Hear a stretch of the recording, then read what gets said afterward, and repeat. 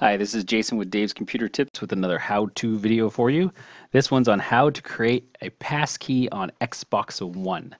Uh, my six-year-old kid uh, was playing some Roblox and he purchased some Robux twice um, without my permission. And uh, I thought I set up a passkey, a password for purchases, but I must have not set it up correctly. So I'm going to show you how to set up a create a passkey on Xbox One so you don't bump into that problem when you're doing your checkbook. So the first thing you want to do, let's start here, is log into your Xbox One account, the one you want to set the passkey up on. So first thing we do is going to go up to this right here to the left. You want to hit press to sign in. So select it. And then you want to select the account you're logging into. And I just selected the top one, which is the one I want to use.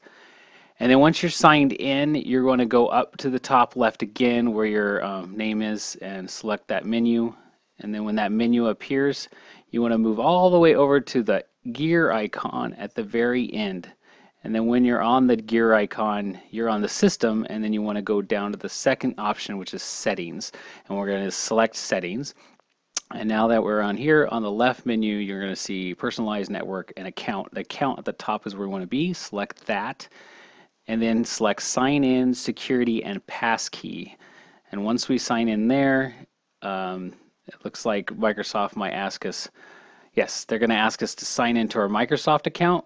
Um, since they own the Xbox, you got to do what they say. So go ahead and put your password in for your Microsoft account. And I'll do it as quick as I can. Uh, it's never easy when you have to go to each one. I need a keypad on this thing. Um, so I'm going to put my password in, put your password in while we're doing this. It'll take me just a minute here, and we'll be there in any minute, I swear. Now, the last part of my password, which I'm blurring so you can't see it because I don't want you logging into my account. so once we do that, uh, now we're in the, the right screen now. And the next one you want to choose is change my sign-in and security preferences right down to the left side there. Once you're in here, go to ask for my passkey. This will ask for your passkey for like sign-ins, um, settings, or even purchases. That's what we want. So we want to create it right here. So select that. And then once you select that, um, now you, that gives you a nice little um, what key to hit on your controller to make it a one, two. So just do that. Create a six-digit passkey. They don't let you create longer. They don't let you create shorter. You'll have to enter it twice, and then we'll do that here. We'll make our password really hard for my kid to remember. If he ever gets it from me, I'll have to change it again. and now we have created our pass key. But there's one more step we want to make sure we do, which I forgot last time. Go back into change my sign in and security preferences again, since that's where we need to go.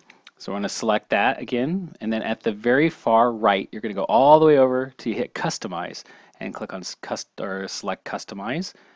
And then when you're in customize, go all the way to the end. And the last one is ask for my passkey to make purchases. We want to make sure this says passkey required.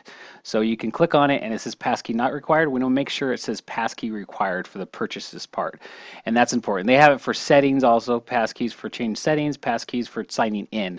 Um, I want the passkey for my settings and for my purchases, but I don't really want my kids bugging me all the time to sign into the Xbox. So I'm going to change this one to passkey not required. And that's all you have to do. That's how you create a passkey on your Xbox One. That way you can not have any surprises when you're doing your checkbook. Make sure to go to davescomputertips.com. That's where all of our articles are. Also, make sure you subscribe to this channel and tell all your friends about it. And thanks for watching.